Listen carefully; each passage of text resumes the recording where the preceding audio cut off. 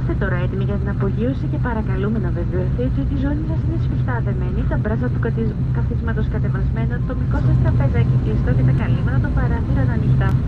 Σας ευχόμαστε μια ευχάριστη πτήση.